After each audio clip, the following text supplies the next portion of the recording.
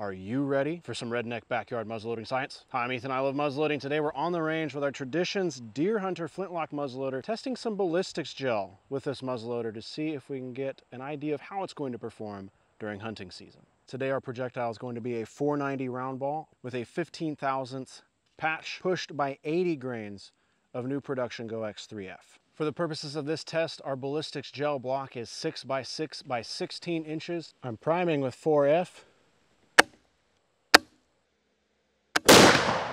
1647. There it looks like we were able to capture that 495 ball. We're two thirds, three quarters of the way through our block. There you can see that wound channel from the top.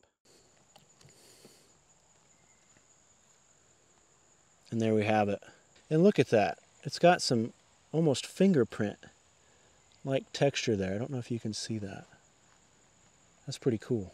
As always with this stuff, let me know what you think. Let me know what you think we could do better. Let me know what other projectiles you want to see tested in this ballistics gel. As you can tell, we've reused this quite a bit.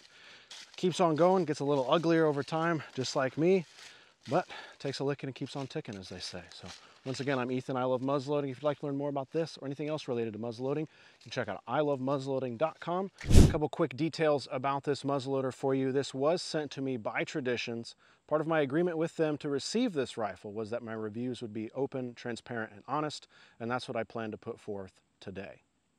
This is a 50 caliber flintlock muzzleloader. It has a 28 inch barrel, pretty short barrel. As you can see, it's got fiber optic sights at the front and the rear. The twist rate is one in 48. If you've not seen it, we've done a sighting in process with this muzzleloader. I encourage you to check out on the channel if you'd like to learn how to sight in a new muzzleloader. Thanks again. We'll catch you next time. I was watching all this.